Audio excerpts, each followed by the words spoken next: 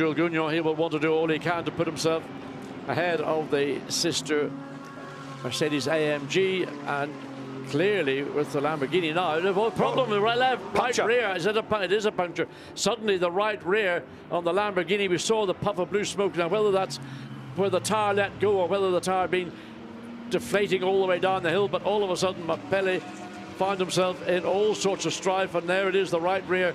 So again, he has to be gentle running the back to the pits. Otherwise, he will do just more, more damage trying to get out of the way of all these faster cars. So what a disaster for the number six Lamborghini having fought its way to the front of the field to have that tyre problem. And he was about 38 and a half minutes into the stint when it went bang. Read into that what you will. But uh, my point being that it wasn't a, a, totally fresh tyre. It, it was a few laps into the stint. So big, big drama now.